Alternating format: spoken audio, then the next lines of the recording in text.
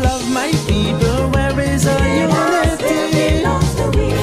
We have to build a home on trust and integrity. Yeah. We have to elevate our sense of strength and purpose. We have to understand that this spice island must come first.